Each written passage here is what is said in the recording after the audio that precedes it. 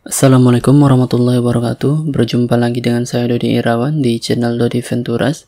Pada video kali ini saya akan mengajak teman-teman untuk mempelajari atau mengenal struktur direktori yang ada pada sistem operasi berbasis GNU Linux.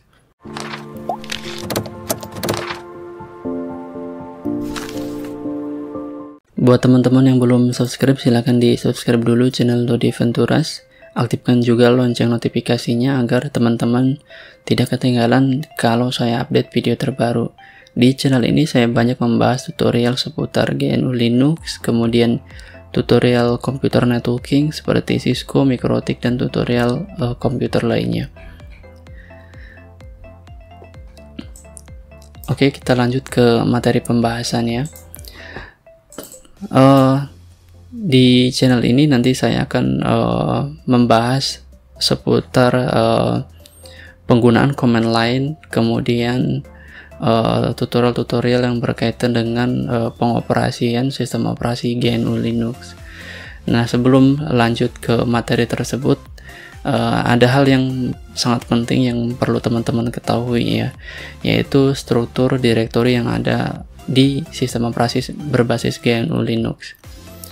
Jadi struktur direktori ini merupakan uh, salah satu hal penting yang perlu dipahami ya. Jika teman-teman uh, ingin menggunakan atau belajar mengoperasikan sistem operasi GNU Linux. Di dalam sistem operasi GNU Linux itu dikenal dengan istilah uh, eh, FHS atau File System Hierarchy Standard, di mana uh, semua sistem operasi atau distro Linux ini memiliki uh, file system hierarki standar yang uh, hampir sama ya. Jadi di pada dasarnya semua distro atau distribusi Linux ini memiliki direktori yang sama ya. Misalnya uh, distro Linux Ubuntu dengan dengan distro Linux Manjaro atau dengan Linux Mint, uh, Kali Linux dan distro yang lainnya. Nah, secara uh, secara struktur uh, ini struktur direktorinya bisa digambarkan seperti uh, pohon seperti ini. Di mana di sini ada satu uh, direktori tertinggi yaitu direktori slash root. Di mana direktori slash root ini membawahi direktori atau semua direktori yang ada ya.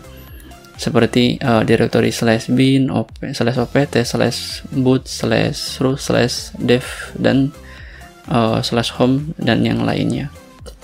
Kalau misalkan teman-teman uh, membuka file manager, misalkan Nautilus atau Tunar, uh, teman-teman bisa masuk ke uh, slash ya. Nah di sini banyak sekali direktori yang ada yang uh, bernaung di bawah uh, slash ini ya. Jadi ini dibacanya direktori uh, ini bisa dibaca directory slash root ya. Jadi ini adalah uh, directory tertinggi yang ada di dalam uh, file system hierarki standar. Kemudian uh, ada juga directory yang khusus untuk pengguna root ya. Ini ada ada slash root, ada ini ya slash root, ada ada directory root seperti itu. Yang ini. Nah, yang pertama akan kita bahas yaitu ini ya, directory slash slash root. Jadi direktori ini adalah direktori tertinggi di dalam hierarki file system GNU Linux ya. Di bawahnya ini uh, bernaung semua direktori yang ada seperti direktori home, proch, var dan yang lainnya. Nah, kalau misalkan uh, teman-teman uh, menggunakan konsol terminal, teman-teman bisa uh, mengetikkan perintah ls slash seperti ini. Kemudian enter. Nah di sini uh, muncul semua direktori yang ada di bawah direktori slash ini.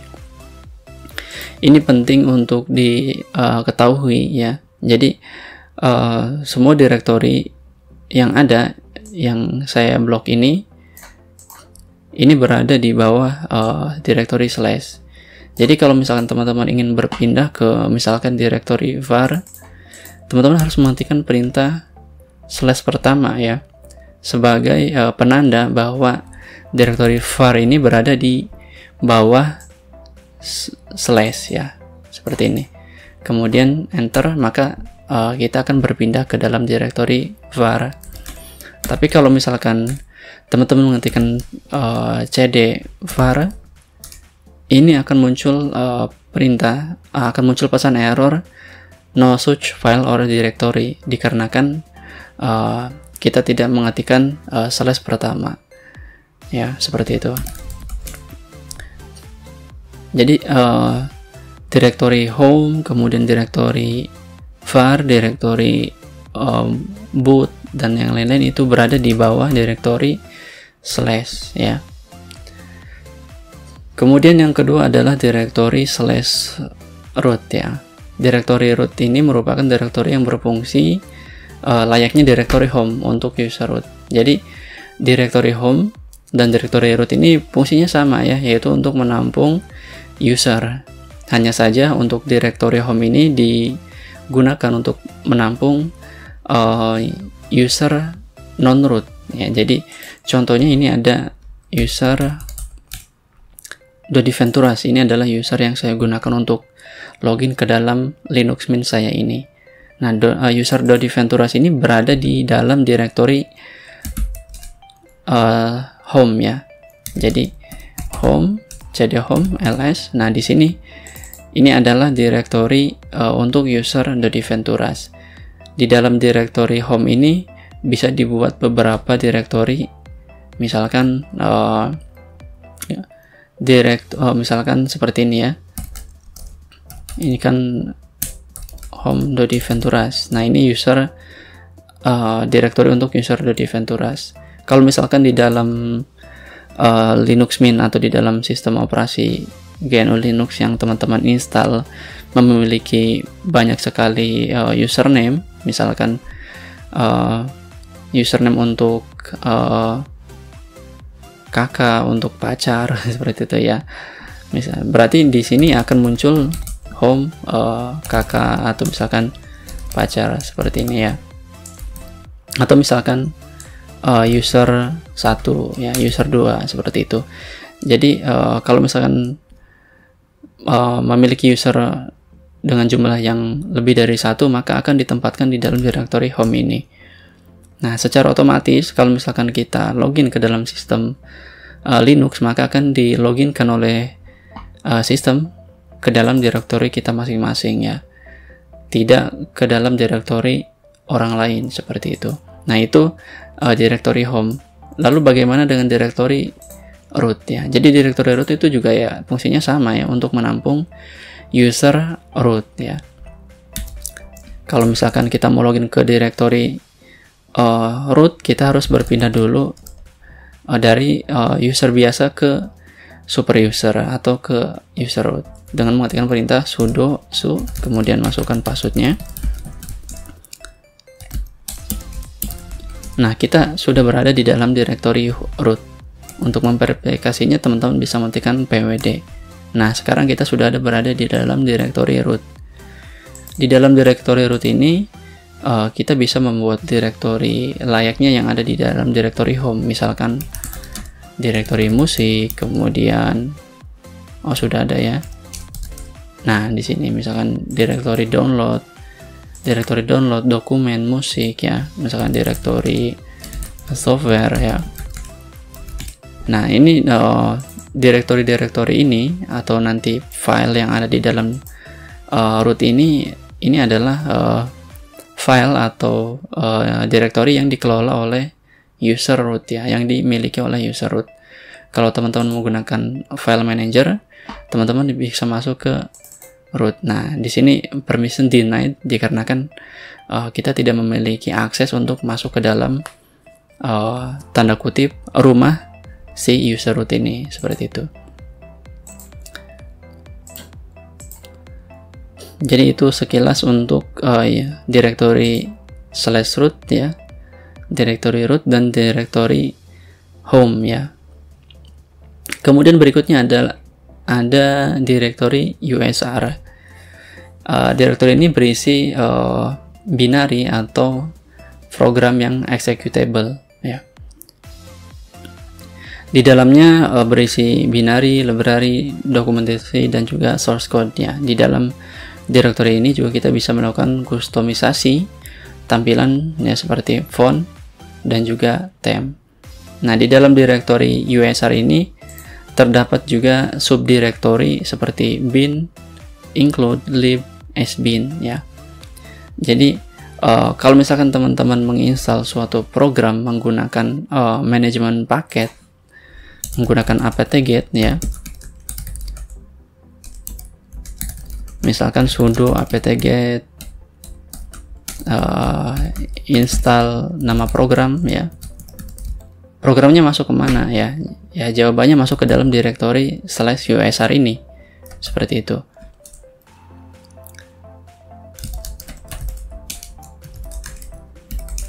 Nah, di dalam directory USR ini ada directory bin dan juga juga directory lib ya. Nah, apa uh, bedanya antara uh, directory USR slash bin dan USR slash lib dengan directory uh, slash bin dan slash uh, lib ya. Di sini ada di bawah directory slash ini ada directory bin dan directory lib. Namun ternyata di bawah directory slash USR ini ada juga directory slash bin dan slash lib. Nah, apa bedanya antara ini dan ini dengan ini? Nah, nanti kita akan bahas itu ya. Jadi, kalau misalkan kita menginstal suatu program ya yang kita install ini the file binarinya atau executable ini akan masuk ke dalam USR bin seperti itu ya.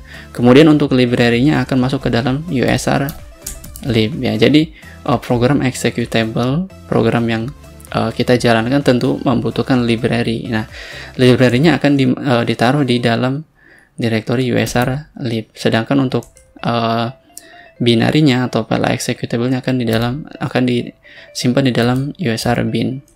Coba kita masuk ke sini. Nah, ini sekarang saya sudah ada di dalam directory usr slash bin. Nah, kita coba tampilkan. Nah, di dalamnya berisi uh, uh, file-file executable ya.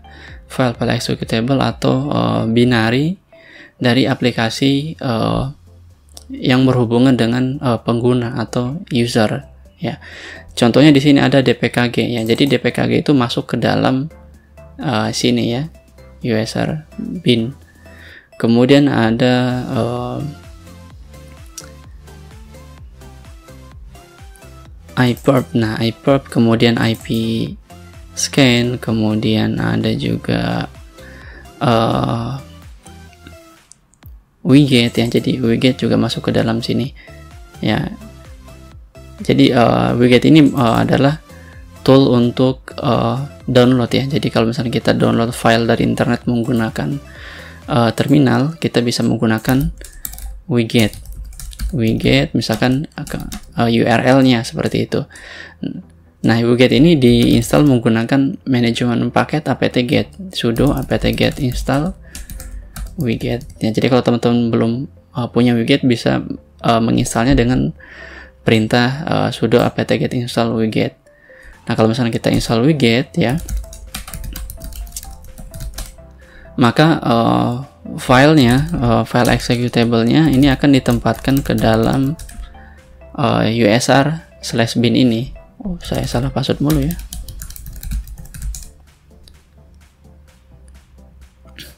Nah, contoh ini proses instalasi widget ya. Jadi, widget itu uh, kita harus install uh, secara manual menggunakan uh, manajemen paket apt-get ya. Nah, otomatis dia akan ditampung di dalam uh, directory uh, slash usr slash bin. Selain widget, di sini ada juga uh, who am I ya untuk mengetahui uh, kita login dengan menggunakan user apa. Kemudian ada who is. Who is ini uh, untuk uh, melakukan lookup terhadap suatu alamat IP public. Ya, jadi di sini uh, jadi program yang kita install ya, yang kita install menggunakan user kita, user Dodi Venturas misalnya, ini akan masuk ke dalam directory uh, USR slash bin. Kemudian library-nya akan ditaruh di mana? Jawabannya ada di di usr slash lib. Jadi program-program yang kita install yang masuk ke dalam usr bin ini akan uh, memanggil uh, library yang ada di dalam usr slash lib. Nah di sini uh, ditaruh ya uh, library library yang dibutuhkan oleh program executable yang ada di dalam usr slash bin tadi ya seperti itu. Contohnya uh, Thunderbird ya. Thunderbird ini uh, untuk mail client ya, uh, email client. Jadi library-nya ada di sini di usr slash lib. Coba kita masuk ke Thunderbird. Nah ini adalah directory. Maaf, ini adalah uh, library yang dibutuhkan oleh uh, Thunderbird seperti itu.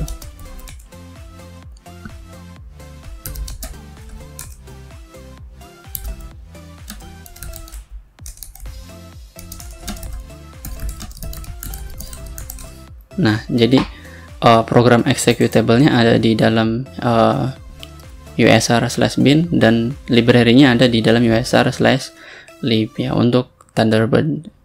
Ya, jadi berlaku juga untuk aplikasi lain yang uh, kita install. Jadi uh, directory usr ini adalah directory yang berhubungan dengan program-program uh, yang diinstal oleh user seperti itu. Uh, kemudian selain USR uh, ada juga slash bin ya. Jadi ini user binaries. Direktori ini merupakan direktori yang berisikan file file eksekusi yang dapat dieksekusi ya, executable file.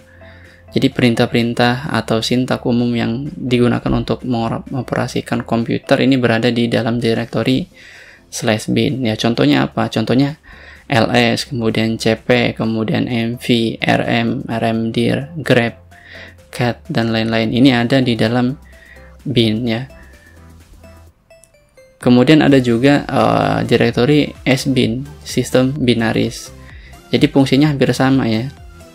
Dengan directory slash bin yang ini, di directory slash sbin ini berisikan file-file executable yang dijalankan oleh administrator atau memerlukan uh, privilege administrator atau user uh, root ya. File-file yang ada di dalam SBIN ini biasanya digunakan untuk pemeliharaan sistem atau uh, tool-tool yang bersifatnya uh, krusial, uh, utilitas yang sifatnya krusial.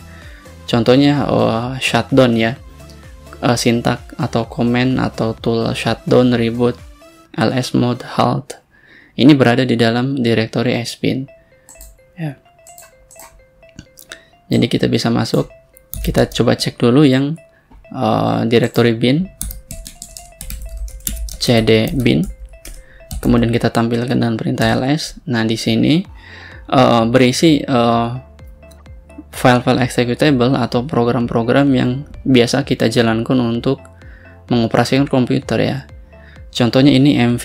MV ini untuk uh, memindahkan uh, file atau folder ya yang biasa kita gunakan. Kemudian ada juga RM, uh, kemudian ada RMDIR, terus ada TAR, Touch, ya, kemudian ada uh, UNAME, ya, kemudian PS, PWD, ini Print Working Directory, kemudian ada juga um, perintah CP ya untuk uh, menyalin atau mengcopy suatu file. Kemudian date untuk menampilkan tanggal ini ada di dalam direktori sbin uh, sorry ada di dalam, ada di dalam direktori uh, slash bin seperti itu.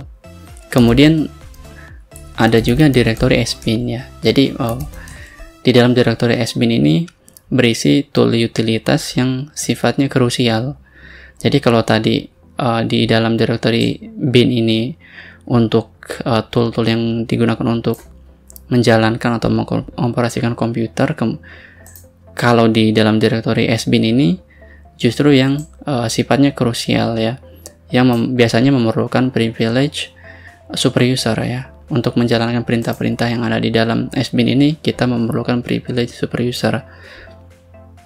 Contohnya di sini ada IP tables ya untuk administrasi jaringan. Kemudian ada juga perintah hw clock ya kemudian ls mode kemudian perintah untuk uh, shutdown ya mana ya nah ini untuk uh, shutdown ya. Jadi shutdown ini berada di dalam direktori sbin ya jadi sifatnya yang krusial ya. Sifat-sifat yang uh, tool utilitas tool utilitas yang sifatnya krusial untuk pemeliharaan sistem adanya di dalam direktori sbin ya. Kemudian uh, ada juga direktori lib ya. Nah uh, direktori lib ini ya adalah uh, direktori yang berisi library, sistem dan juga modul kernel yang dibutuhkan oleh binari yang ada di dalam direktori bin dan sbin. Jadi perintah-perintah yang ada di dalam direktori bin dan sbin ini membutuhkan library yang ada di dalam direktori lib seperti itu ya. Jadi uh, perintah yang ada di sini dan di sini ini kan membutuhkan library. Nah, library-nya di mana? Ya, adanya di dalam direktori lib ini seperti itu. Jelas ya? Berikutnya ada uh, direktori OPT ya. Beri ini uh, adalah direktori yang berisi aplikasi-aplikasi third party, aplikasi pihak ketiga yang kita install yang dilakukan dengan cara melakukan kompilasi manual ya tanpa menggunakan manajemen paket seperti apt-get. Jadi kalau misalnya kita install uh, program atau aplikasi yang kita install menggunakan sudo apt-get install nama uh, program misalkan nama aplikasi ini kan ditaruhnya di da, ini akan ditaruh di U, uh, USR ya di dalam USR tapi kalau misalkan uh, teman-teman menginstal program yang di compile secara manual ini akan ditaruh di dalam direktori OPT ya Nah, contohnya adalah uh, aplikasi Google Chrome, kemudian Kingsoft, Kingsoft atau WPS Office, kemudian PAC, kemudian paket tracer, TeamViewer ya. Ini adalah aplikasi-aplikasi yang saya install dengan cara melakukan kompilasi manual ya. Jadi uh, kompilasi manual itu atau program yang di compile secara manual itu maksudnya adalah uh, kita download source code-nya dari internet, kemudian kita install misalkan menggunakan tool dpkg ya, dpkg atau gdb. Nah, seperti itu atau menggunakan perintah uh, uh, kompilasi lain misalkan make install seperti itu. Ini akan masuk ke dalam direktori OPT seperti itu. Berikutnya ada direktori boot. Ini adalah direktori yang menyimpan file-file uh, penting yang terkait dengan uh, kernel dan juga bootloader. Jadi uh, di mana sih uh, kernel Linux itu disimpan? Ya di dalam direktori boot ini ya. Nah di sini ada VM Linux. Nah ini adalah uh, Linux kernel ya. Ini kernel Linux uh, untuk uh, Linux Mint saya ya. Jadi ditaruhnya di dalam directory boot. Kemudian ada juga uh, grup ya. Di dalam directory boot ini ada subdirectory group. Nah jadi kalau teman-teman uh, melakukan booting melakukan booting komputer kemudian muncul grup ya kalau misalnya yang belum paham apa itu grup nah bisa googling ya Nah, contohnya seperti ini. Nah, ini adalah grup ya. Nah, jadi kalau misalnya teman-teman booting ke dalam uh, Linux Linux ya, misalkan Ubuntu atau Linux Mint atau apa pun, uh, nanti akan muncul seperti ini ya. Ini adalah grup. Nah, grup ini ternyata disimpan di dalam directory uh, slash boot slash group seperti itu. Kemudian ada direktori lain yang tidak kalah penting, yaitu uh, direktori yang berisi file-file konfigurasi. Direktorinya adalah etc ya. Jadi direktori etc ini adalah uh, direktori yang menyimpan file-file konfigurasi yang berhubungan dengan sistem kita ya. Contohnya apa ya? Contohnya uh, uh, host ya host name ya jadi kalau misalnya kita mau mengubah host name Nah, untuk mengubah hostname ini kan tim ThinkPad ya. Kalau misalnya kita mau mengubah hostname yang ini, ternyata file konfigurasinya ada di dalam directory etc. Selain uh, uh, hostname, ada juga network, kemudian ada juga uh, DNS ya untuk konfigurasi DNS resolve ya. Nah, resolve.conf ini juga ada di dalam sini ya untuk mengkonfigurasi DNS. Kemudian kalau teman-teman biasanya suka mengubah mengubah apa ya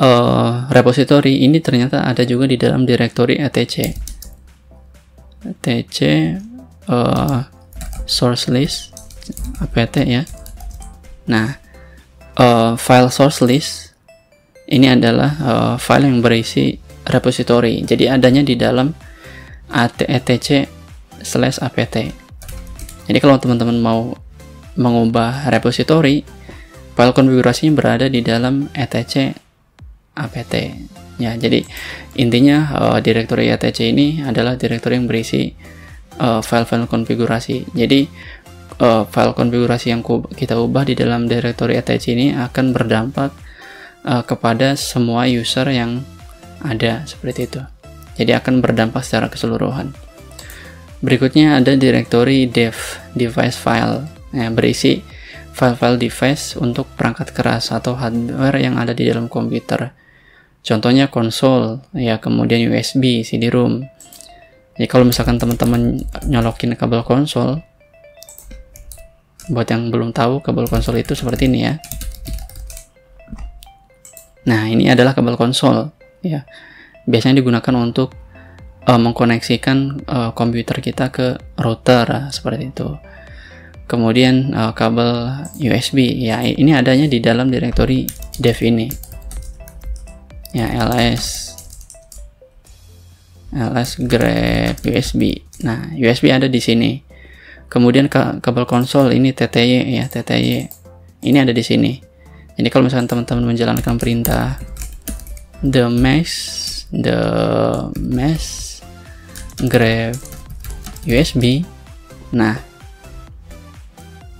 ya contohnya seperti ini. Kalau misalnya teman-teman menancapkan USB kemudian menjalankan perintah the mesh grab USB ya nah nanti akan muncul seperti ini. Nah ternyata file uh, yang berkaitan dengan USB itu ada di dalam directory dev ya USB nah ini di sini ya seperti itu Nah, berikutnya adalah directory media atau removable media device. Jadi directory ini berisi uh, directory sementara untuk device yang bersifat removable ya, seperti CD-ROM, kemudian flash disk yang kita mounting dan juga uh, partisi. Jadi kalau misalkan teman-teman nyolokin uh, USB kemudian ingin di mounting ya, itu uh, adanya di dalam directory media ya. Kemudian ada juga misalkan uh, partisi Windows. Jadi kalau teman-teman dual boot ya, ini contoh local disk. Ini adalah partisi Windows ya. Ya, ini muncul di sini. Kalau misalkan teman-teman menggunakan file manager. Nah, kalau menggunakan konsol itu adanya di mana? Ya, adanya di uh, directory media ya. Teman-teman bisa matikan perintah cd media nama usernya, kemudian enter. Nah, nanti uh, misalkan CD-ROM ataupun uh, eh, USB yang teman-teman mounting ini akan uh, berada di dalam directory media termasuk partisi untuk uh, Windows ya. Partisi Windows ya ini partisi Windows. Seperti itu yang selanjutnya adalah directory MNT ya untuk uh, mount directory ini biasanya berisi mount point atau subdirectory tempat kita memasang floppy disk dan CD-ROM. Directory ini juga biasa digunakan untuk melakukan mount point sementara uh, kalau misalkan uh, kita ingin mengembalikan grup bootloader yang hilang ya. Jadi uh, isinya kosong sebetulnya ya. Ini tidak ada isi apa-apa dikarenakan tidak ada uh, partisi yang kita mount ke dalam directory mnt ini ya. Jadi ini untuk fungsinya untuk mount uh, secara uh, sementara ya. Ada juga directory proc ya. Uh, directory berisi informasi mengenai proses yang sedang berjalan ya. Jadi uh, kita bisa menemukan uh, PID atau proses ID dari suatu aplikasi ini di dalam directory proc ini Nah, selain itu, uh, informasi seperti CPU info, memory info, dan uptime ini ada di dalam directory proc. Jadi ini uh, fungsinya cukup uh, penting sekali ya.